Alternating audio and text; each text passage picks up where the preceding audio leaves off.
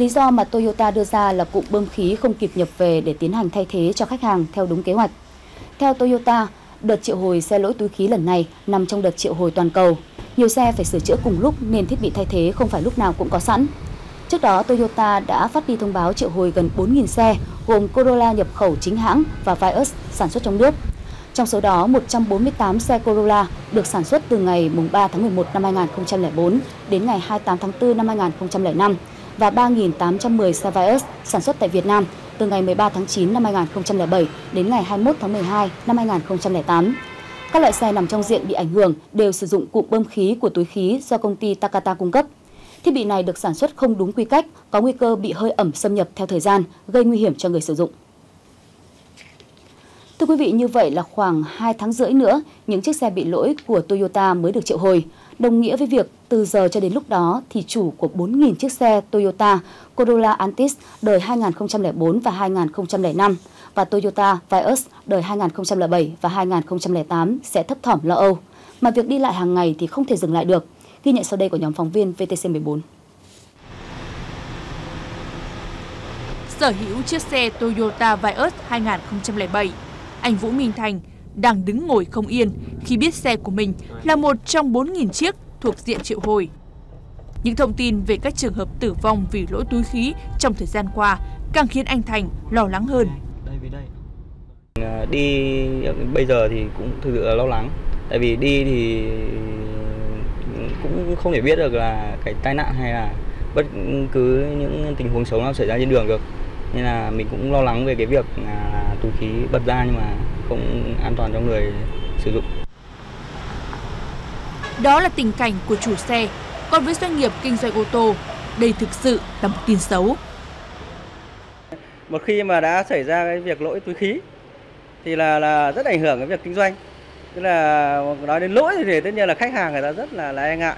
Còn việc sự an toàn an toàn thì đương nhiên là lỗi túi khí thì là đi lại nó một khi nó xảy ra gì nó ảnh hưởng đến tính mạng những nỗi lo lắng này sẽ không thể giải tỏa sớm vì Toyota đã lùi thời hạn thay thế miễn phí túi khí từ ngày 1 tháng 9 đến tận ngày 15 tháng 11 năm 2015. Cái đầu tiên mình phải nói đến cái tâm lý của người tiêu người người người tiêu dùng đi. Thì cái đấy thì đã chậm một lần rồi thì lần thứ hai thì cũng không thể biết được thế nào. Có lý do lý do này, lý do nọ nhưng mà cũng rất mong là bên Toyota sớm khắc phục cái cái cái cái lỗi này cho người tiêu dùng. Sao lại lý do gì mà lại lui lại đến 2 tháng rưỡi? Thì từ nay đến ngày tháng 11 giữa tháng 11 khoảng 2 tháng rưỡi này thì chúng tôi lưu thông trên đường và một số người khác chẳng hạn. Thì về tâm lý là chúng tôi rất lo lắng. Lùi thời hạn thay thế túi khí, song Toyota Việt Nam không có bất cứ hình thức nào thông báo đến khách hàng. Và đã thất hẹn một lần, không ai dám chắc thời hạn trên sẽ bị lùi lại bao nhiêu lần nữa. Trong thời gian gần đây liên tiếp xảy ra những vụ tai nạn giao thông đặc biệt nghiêm trọng mà các xe gặp nạn đều là các dòng xe của Toyota. Hãy cùng chúng tôi điểm lại những vụ việc này.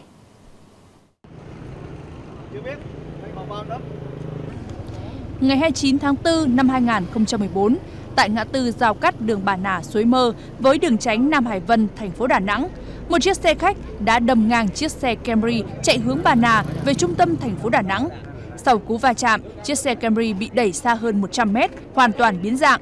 5 người tử vong tại hiện trường, hai người tử vong sau đó tại bệnh viện. Trong số nạn nhân tử vong, có bé trai mới chỉ 2 tuổi.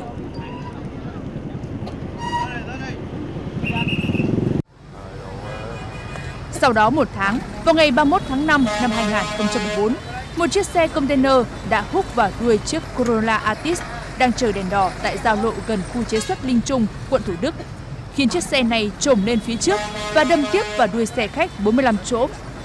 Hậu quả, chiếc Corolla Altis bị vỏ nát, biến dạng đến mức không thể nhận dạng. 5 người trên xe đều tử vong. Gần đây nhất là vào dạng sáng ngày 8 tháng 8, tại km 59 900 trên cao tốc Hà Nội Thái Nguyên, chiếc xe con hiệu Innova đi với tốc độ khá nhanh đã đâm vào phía sau của chiếc xe tải 7 tấn. Sau cú đâm mạnh, Chiếc xe con văng vào lề đường, phần đầu biến dạng. Ba người Hàn Quốc ngồi trên xe tử vong tại chỗ.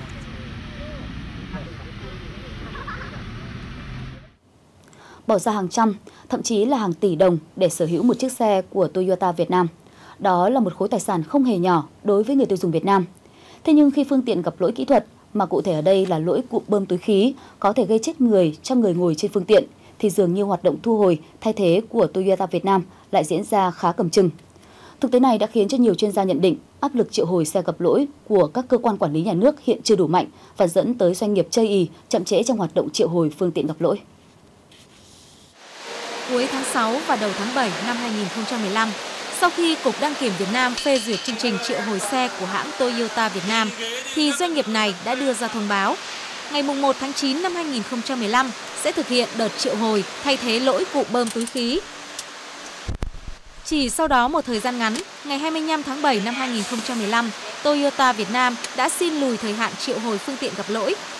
Và theo thông báo mới nhất của Toyota Việt Nam tới Cục Đăng kiểm Việt Nam, thì đợt triệu hồi hiện bắt buộc phải di rời tới ngày 15 tháng 11 năm 2015, tức chậm hơn 4 tháng so với kế hoạch ban đầu doanh nghiệp này đưa ra. Trong khi đó, triệu hồi xe gặp lỗi theo luật hiện hành là quy định bắt buộc.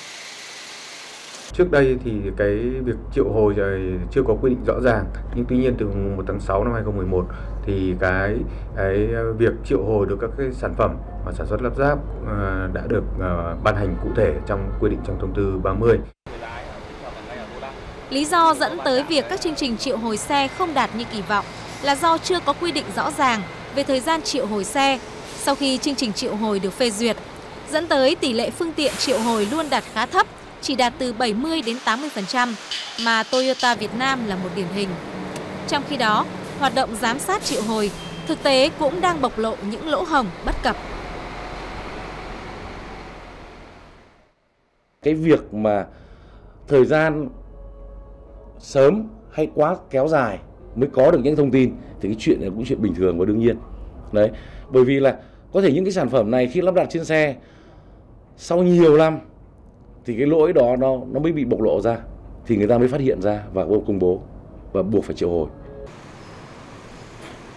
Liên quan tới câu chuyện Toyota Việt Nam liên tục lùi thời hạn triệu hồi xe gặp lỗi túi khí, nhiều chuyên gia cho rằng áp lực từ cơ quan quản lý nhà nước hiện chưa đủ mạnh.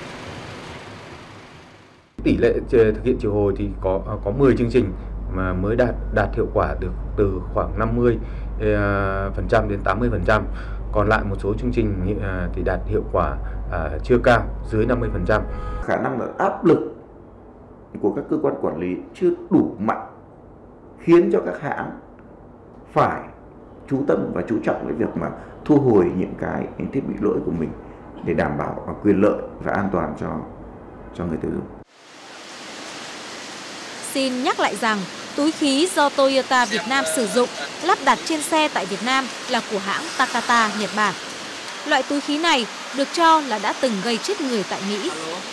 Cục đăng kiểm Việt Nam hiện đã chính thức đề nghị Toyota Việt Nam cần có các khuyến cáo đối với người sử dụng, đưa ra các giải pháp thực hiện trong thời gian xe chờ được kiểm tra, khắc phục theo chương trình triệu hồi nhằm đảm bảo an toàn cho người sử dụng trong quá trình vận hành xe. Cùng với đó, yêu cầu Toyota Việt Nam giải trình chi tiết, cụ thể việc lùi thời hạn triệu hồi xe gặp lỗi cụm bơm túi khí.